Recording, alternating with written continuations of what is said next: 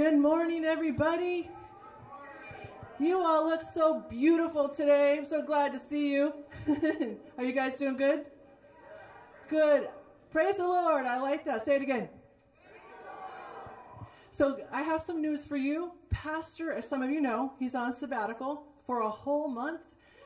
But listen, this man has not taken sabbatical for, I think, over 13 years. We were talking about. I think that's kind of unheard of, is it? I mean, I think it is, right? You guys are Zion students at North Point, right? That's like, you can't be doing that, right? So he's away getting refreshed and be, getting filled up with the Holy Spirit coming back on fire to be ready to just bring it. So you guys keep him in prayer. And he, he wanted you to know you still have to come to church. so you, you're not on sabbatical. And so um, right now, what we're going to do is we're going to receive the offering. So ushers, if you could come forward, please. And everybody bow your head. We are here to worship God. There is none like him. You are so worthy, Jesus. You alone are the name above all names. And we thank you for all that you have given us.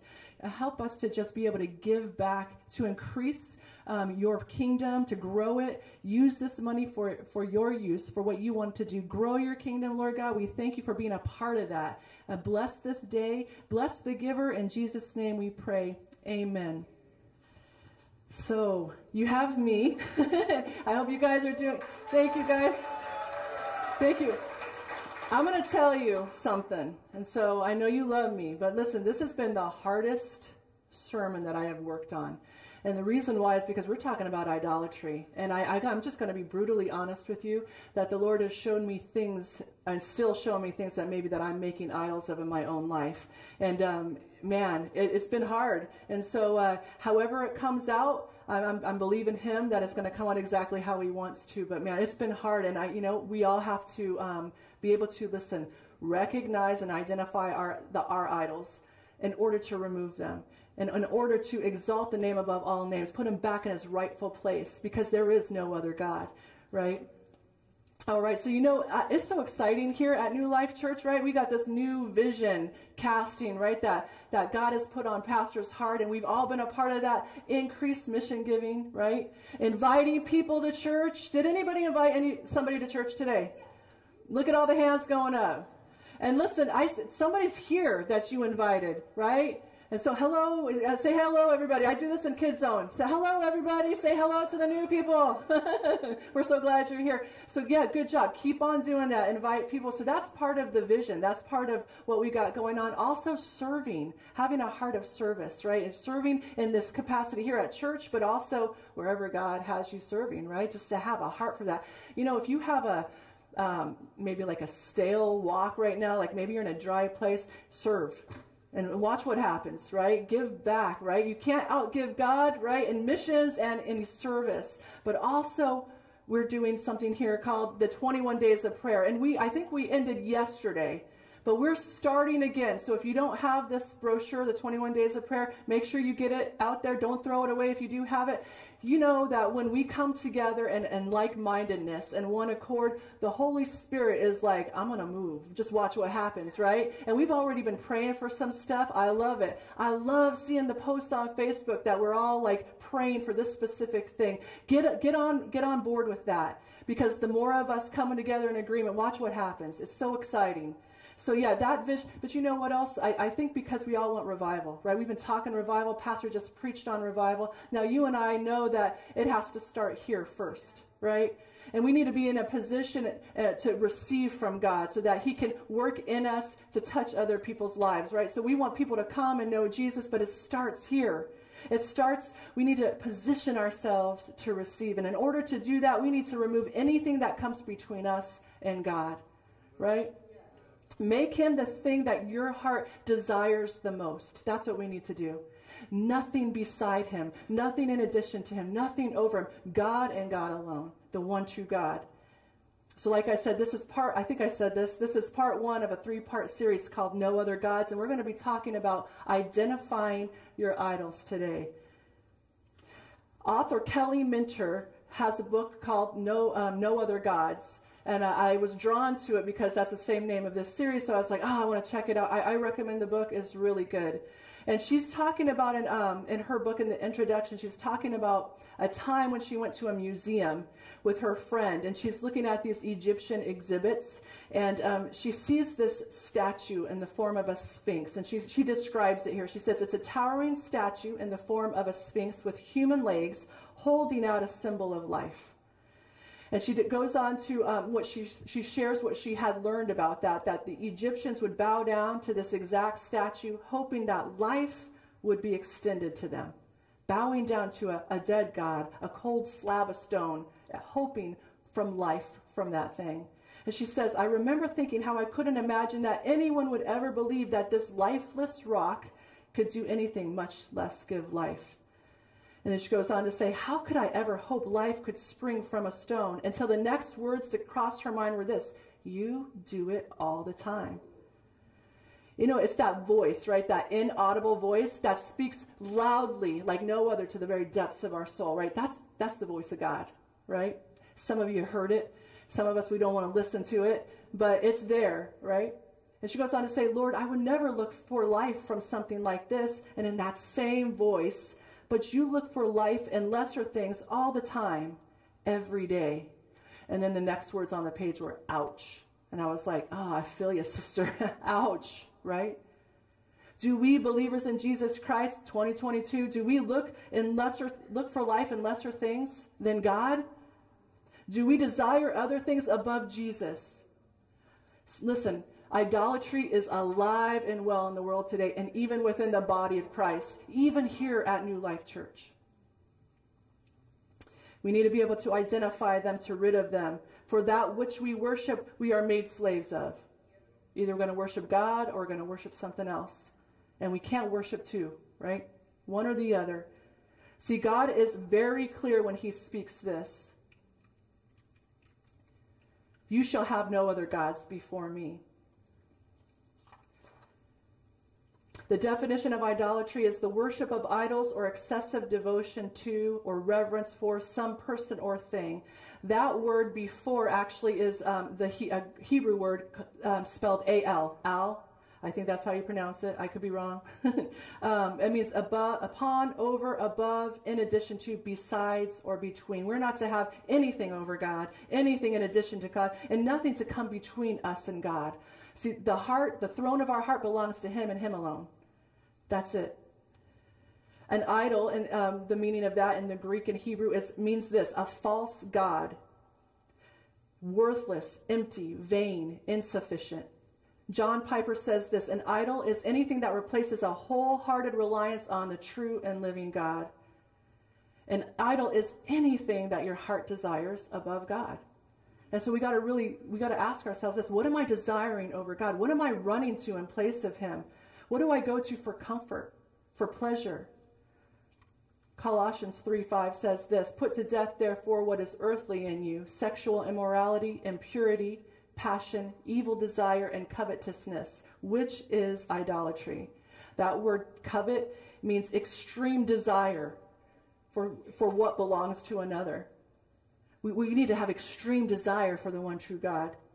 And I, I think if you're like me, you think maybe that idolatry is a thing of, of the Bible times, like the pagan cultures, right? The surrounding nations of Israel, where they, they worship to the false gods of Baal and Asherah and Molech.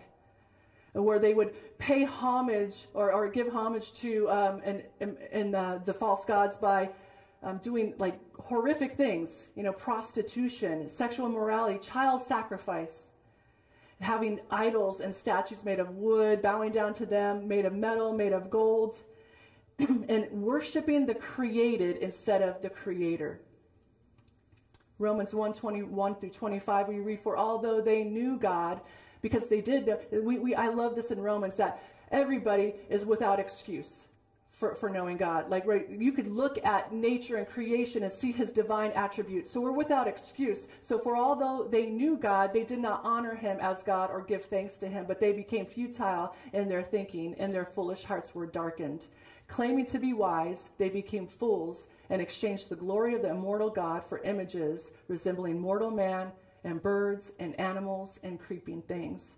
Therefore, Pay attention to this. Therefore, God gave them up in the lust of their hearts to impurity, to the, the dishonoring of their bodies among themselves because they exchanged the truth about God for a lie and worshiped and served the creature rather than the creator who bless who is blessed forever. Amen. So we see that. We think about that in Bible times, right? In pagan cultures, those that didn't believe in the one true God. But we also know that the believers, the children of God, were also influenced by the culture. They were desiring and coveting those things that they had. They wanted that. They went after that and turned their hearts on the one true God. We, we know that time and time again that happened. Forsaking God for another. Judges 10 6. The people of Israel again did what was evil in the sight of the Lord and served the Baals and Ashereth the gods of Syria, the gods of Sidon, the gods, gods of Moab, the gods of Ammonites, and the gods of the Philistines. And they forsook the Lord and did not serve him. So we know that. If you come to church any Sunday, you know, if you listen to pastor and you're not sleeping, I don't see anybody sleeping right now. That's good. I'm watching. um, then you know that this has been a problem in the Bible from Genesis to Revelation idolatry has been a problem with, with those who are non believers and those who are believers. But it is also a problem today. And we all would admit that. We could just look at the news, we could just look around, and we could see that, that there is idolatry within the world today. Modern day Baals, Asherahs, and Molochs, still, you know, ch- child sacrifice, giving up our children to the altar, right? Still sexual immorality, every kind of perversion. Images of today, bowing down to them, people, celebrities, self, social media, seeking life from their followers on Facebook or wherever, right? Bowing down to the gods of their own forming in the image of their own choosing. So we'd say that. They're non believers, but that's not us. We, we don't have any idols because we are believers in the one true God, right? But are we not also influenced by culture See, we, I, I love the sign that was out there a couple weeks ago. It said this We can't influence culture if we look like them, right? Have we become familiar, tolerant, accepting of, of idolatry? Incorporating even uh, idols in our worship with Jesus. I mean, we come to church on Sunday, we worship God. Sometimes we come in on time, even, right? We do a discovery Bible group here and there. Maybe we go to a men's group, youth group, right? But then we serve the gods of comfort, convenience, identity, pleasure all the rest of the time, right? Martin Luther says this whatever your heart clings to and confides in, that is really your God, your functional Savior. John warns us to be vigilant when it comes to idols. He says this Little children, keep yourself from idols. I love how the New Living Translation says it. Dear children, keep away from anything that might take God's place in your hearts. Though the modern day idols uh, look different than from back in the day, they're still just as harmful and they mean to destroy and lead you away from God.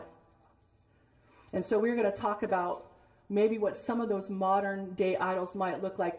Really, it's anything that we're replacing with God, right? It's anything that we have given our heart to. But some of the ones that I wanted to talk about were um, a few things that I think I see a lot and also probably within my own life. The idol of comfort. We want to live comfortably, right?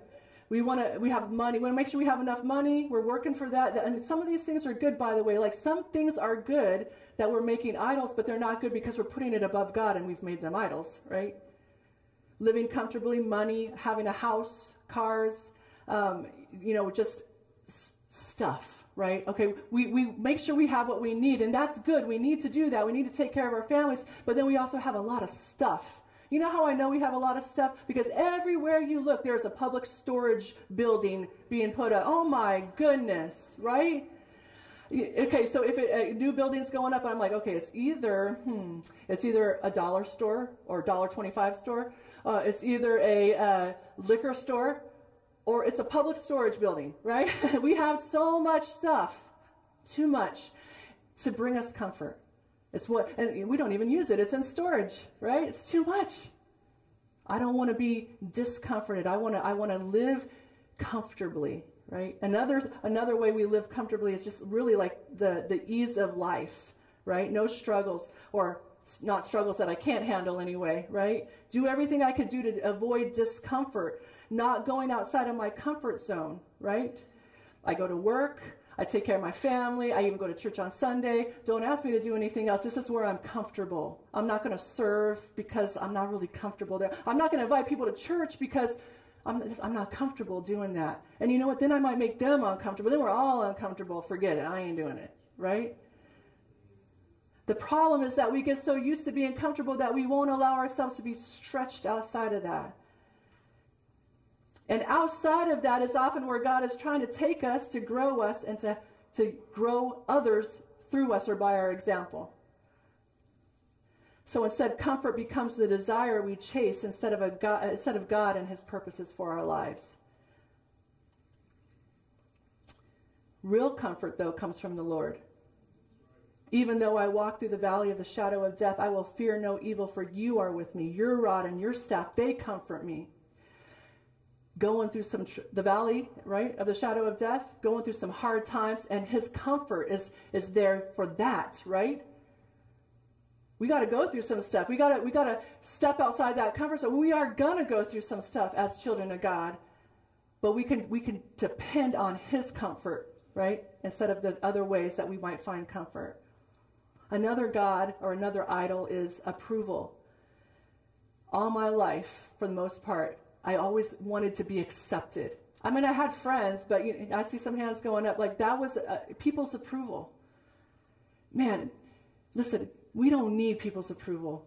If God is for you, who can be against you? Somebody might need to hear that today. If God is for you, who could be against you? Facebook likes. I, I'm, I'm being transparent, all right? so my uh, I would sometimes put some posts on Facebook, and I, especially certain people, I'd be like, "That's my friend. Like, why didn't they like that? Well, they don't like my kids, right? Those are fighting words, you know. I'm being truthful, right? I know. I, maybe I'm the only one here. I don't know. You're all looking at me like Facebook. What? What's wrong with you? You are an idolater. I heard I heard a podcast. I love this. Uh, it, the only the only like that. And I don't know if I already said this, but I'm gonna say it again. The only like that matters is on Judgment Day, and it comes from him. I was like, word, that is so good. But what comes out of approval, you know, that, that idol of, of approval is people pleasing, right? We got to be a people pleaser, like fear of man versus fear of God. Proverbs 29 says, The fear of man lays a snare, but whoever trusts in the Lord is safe. Don't you want to just be safe in his arms? There is no one like him. There is no one like him, no one better, no one who can do what he can do. So, when I was a little girl, um, some of you have heard my story about my stepfather. Um, I'm not going to go share that, but it was kind of, you know, dysfunctional, whatever the, you know, we, we all have that now. We're all dysfunctional in some way. But um, it was kind of rough growing up with him. And I, he was definitely not the nicest person to my mom. He, he, was, he was good to me um, in that he wasn't, you know, abusing me, but he was not good to my mom. And um, I remember, though, just um, always wanting to get his approval. And I remember write, you know, birthday cards or whatever, and I would just say, you know, I'll try to be um, a better girl. I'll try to be good. And um, I remember my mom came up to me one time and said, he asked like, what's wrong with her? Why does she always say she's a good girl? You know, but, but I had that sort of, um, need, need for approval. And I think it kind of goes back to like a, a, a rejection, you know, like that fear of rejection. Like I just wanted him to, to, to, and I couldn't believe it, right? Because when you make an idol of something, it's going to keep on taking more and more and more, right? It's going to, it's going to take more to convince you, to more to, to, uh, I guess, satisfy you. Fear of man versus fear of God. Galatians 1:10 we read for am I now seeking the approval of man or of God or am I trying to please man if I were still trying to please man I would not be a servant of God again all that matters is God's approval and are we pleasing Him, not others, right? And you know how we please God? By trusting Him, by putting our faith in Him. And without faith, it is impossible, impossible to please God, for whoever would draw near to God must believe that He exists and that He is a rewarder of those who seek Him. I love that. Some say diligently seek Him. I love that verse because it's saying that we have to believe that God is who He says He is, the one true God, right? But then also that He rewards those who seek Him. You get rewards for seeking God. But you don't get rewards. You get curses for seeking other than Him, right? Other gods, false gods. Another false God um, is identity. That's a big one. See, since the beginning of time, our identity has been under attack and in question, hasn't it? So, who do you get your identity from, right? Friends, social media, gender, right? Gender, self, me, right? I get it from like what I want, self worth, my rights, my agenda, my will be done. How about this? Position, title. How about your jobs? Like, I don't feel like I'm worth much. I, there's no value unless I'm, I'm in this position or if I, if I get that raise right? Or if I have that title, then now I'm going to be worth something. Now I'm going to have some worth and some value. No, that's, that's not where we get our worth and value. We get it from God. Our identity is in Christ alone. And He has so many good things to say about you. He loves you. He died for you, right? Uh, thank you other modern, modern day idols. I mean, we, we could just list a bunch of things. Cell phones is a big one. And I didn't really want to talk too much about cell phones because we all know the deal with cell phones, but it is a problem. And working with the youth, it's like they're, you know, always they're like they they're bowing down to the, the God of. But you know, it's not just them. It's not just them. It's their parents. It's you know, adults. Uh, we're we're we can't be without it anymore. And you know what it's become? It's become a safety net I don't, I don't got to talk to you if I got my phone in front of my face. I don't have to have relationship, right, with you if I have my phone here. But that's not what God wants. He, that's not what he intended. He intended for you to have relationship with him and with others so that they would, through you, know him. Entertainment, TV, video games, pleasure, ooh, busyness. That one just came to me this morning because, again, God's working on me um, and uh, last February, um, my my biological father passed away, and I went. Some of you know that, and I went to California. I had not been to California to see my family in 14 years, and um, you know, busy, right? We're busy. We're just so busy that we can't do that. And I, I remember just being with my brothers um, and my sister, and we're just like, we can't, we can't do this anymore. This is, I mean, the one thing that we got out of my, my father's death was that we can't let that much time go again. We can't be so busy that we can't have relationship with people. We can't have a relationship with God. By the way, my brother is here.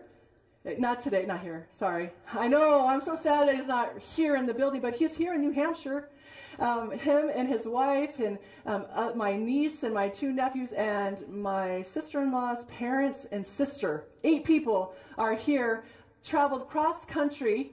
Now, see, this is when he says, like, we're not going to let time go by, he wasn't lying. You know, I'm like, that, he's my hero. He came in two cars and they traveled to come see me and will also to uh, attend an Ironman race. My brother's doing that right now. Please pray for him because it was he started I think like at six in the morning in Laconia, and um, he says we have eight hours. He's like, but my goal is six, and I know he was a little nervous last night, but um, I, he's just I know he's probably doing great. But keep him in prayer. But man, family is so what a gift of God, you know. And I know not everybody has a great family situation but you have a church family, right? Build that relationship.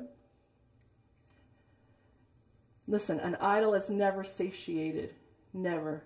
It will always demand more from you until it takes all you have and destroys you.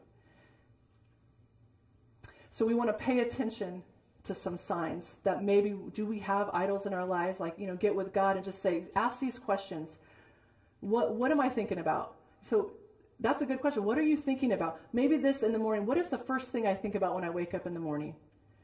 I know some of you are like turning off the alarm, five more minutes, then another five more minutes, then another five more minutes. Okay, after that, what are you thinking about? What's the first thing? I did this test, and I got to tell you, the first thing I thought about was not God, but I kind of tried to cheat a little bit. I was like, okay, I know that I have to think of God. So, God, I love you. Thank you for this day. And, um, and, then, and then I thought about other things, right? Are we thinking about the problems of yesterday? The to, the to-do list today, including fixing the problems of yesterday? How might the rest of our day look if we started off with exalting his name, taking that five minutes of the snooze time, right, and, and giving it to him, getting in the word, focusing and meditating on one, one verse, and just understanding what it means, like meditate, chew on it, exalt that name, magnify Him over the problems of yesterday and over the to do list of today. How would the rest of our day look? I bet it would be more apt to go to Him throughout the day and to honor Him. Less grumbling, less complaining, more thankfulness, right? Another sign is knowing, like, where do you run? Where do you run to when you're in need of rest? Where do you go for that? Do you go to a friend? Do you go to TV? Sometimes we just turn on the TV and we just relax. Binge watching TV, right? I just need to like I don't want to think of anything. I want to be entertained. I don't and I'm not saying again, some of these things are all right, but when we put it above God and we're running to that first, the uh, the sign last week too said this, uh, make God your first priority and your last resort. Rainey, he's been on it. Like I, I both of them, right? Colin, thank you wherever you're at. That was awesome. But right, make him your first priority, not your last resort.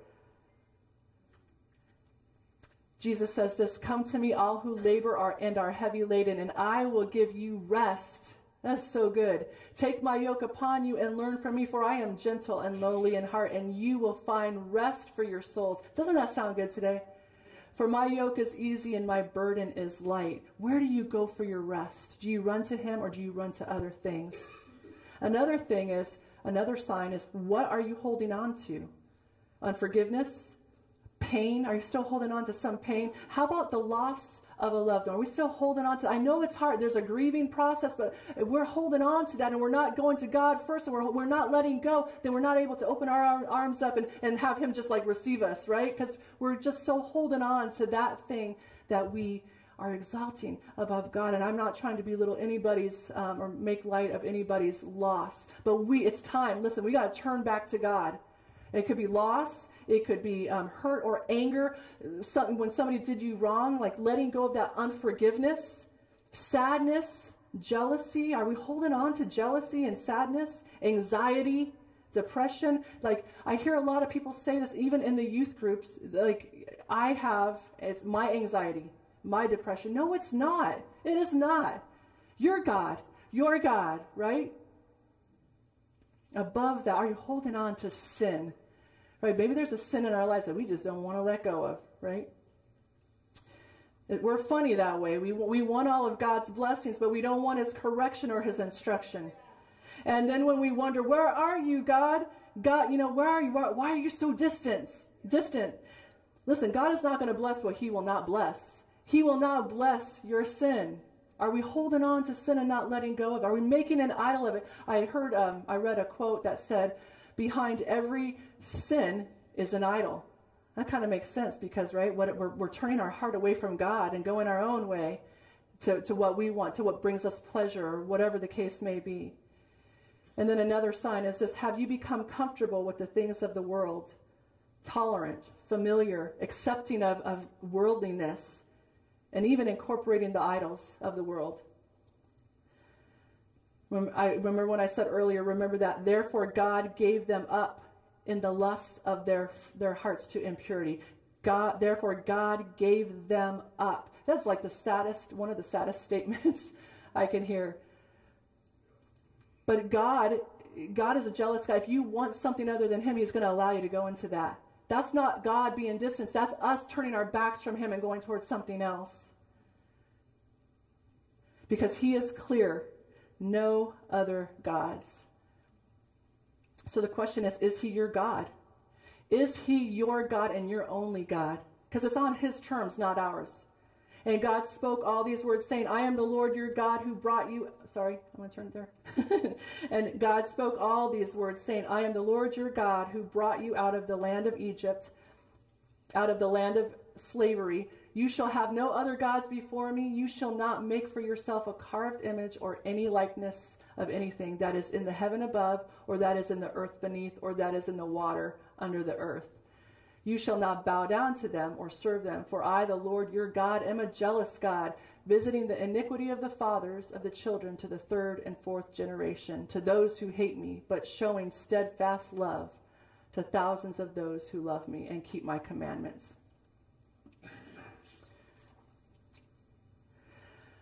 I, I want to go back here because sometimes when we, we, we list the Ten Commandments, right? We know Ten Commandments and we're going, we want to list it. But I think we skip over verse 1 and verse 2. Um, God spoke all these words. When God speaks, we listen. When Yahweh speaks, we listen. I am the Lord your God. Capital L, capital O, capital R, capital D, Yahweh, right? That is the right, proper name of God the proper name of the God of Israel. It's his holy name. It's so holy that we read in Leviticus that if anyone had said back in, in, the Old Testament times, those whoever says blasphemes the name of the Lord will, will be put to death. Holy. They wouldn't even say his name because it's holy. There is no other name. There is no other God. It is the name like no other because it includes his personal identity, who he is, and what he has done, and what he's going to do, what he's able to do. He is the life giver, and no one else is worthy of our affections. We read in Exodus, oh, sorry, 15:11, Who is like you, O Lord, among the gods? Who is like you, majestic in holiness, awesome in glorious deeds, doing wonders? There is none like him. No one else is awesome and holy like he is. So the question is, again, is he your God? And I love that part where it says, I'm going to go back real quick and just show you. I am the Lord your God. So whether we whether we want him to be our God or not, or if anybody chooses him or not, we know that he is God. He is Yahweh. He is God whether we like it or not, right? He is the one. There is no other one above him. But the question is, is he your God? Because see, everything else hinges off of this. If he's your God, then you shall have no other. He gets your whole heart. I am the Lord your God. It speaks also to this his desire to have relationship with you, your God. He wants to be in a relationship with you. He loves you. And then we go on here. It says, "Who I am the Lord your God, who brought you out of the land of Egypt, out of the uh, land of slavery, house of slavery." He is reminding the Israelites that He brought them out of slavery, out of oppression at the hands the, at the hands of the Egyptians, miraculously delivering them through the Red Sea into the Promised Land. What about you? What has God brought you from? Brought you through? What has He delivered you from? See, you are no longer a slave to sin because you have been offered life through Jesus Christ, the life giver, that name above every name.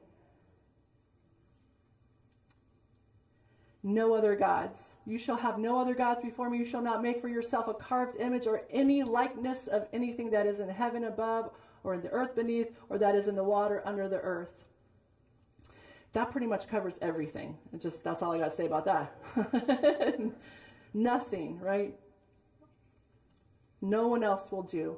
And then it goes on to say, You shall not bow down to them or serve them, for the Lord your God is a jealous God. Sometimes I, I kind of stumble on that, or I did early in my you know early years as a Christian, because I thought, how can God be jealous? We're not supposed to be jealous. So how can how can God be jealous? Does that even make sense? But it does, because see, He's the only one that has the right to be jealous.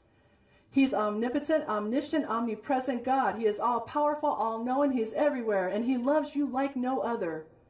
He cares for you like no uh, other. He sings over you. He delights in you. He is faithful to you like no other. He provides for you, and He planned for you. He's jealous because you are in covenant with Him. You are vowed to Him. You are His, and He is yours. It makes me think of a husband and a wife when, when they get married, right? You say your vows before the Lord. And, and if, if my spouse or your spouse or whatever is, has turned their heart from you and towards another, that provokes jealousy, right? And we're the bride of Christ. God is the only one who has the right to be jealous because, listen, He, he knows, He formed you. He thought of you before you were even uh, born. He had plans for you, purpose for you. He knows what's good for you. He knows what's not good for you. He knows our tendency to go away from Him. His heart is for you. He sent his son to die for you.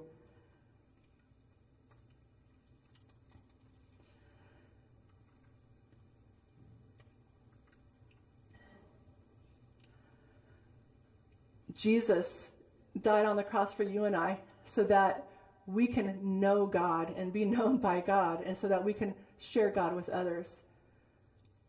Thus says the Lord, the King of Israel and his Redeemer, the Lord of hosts I am the first and I am the last. Besides me, there is no God.